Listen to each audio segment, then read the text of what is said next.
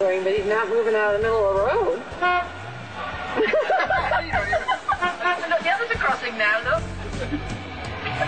Those are the rest of Oh, he's a crossing guard, and he's waiting for the rest of them to come across. That's what it is.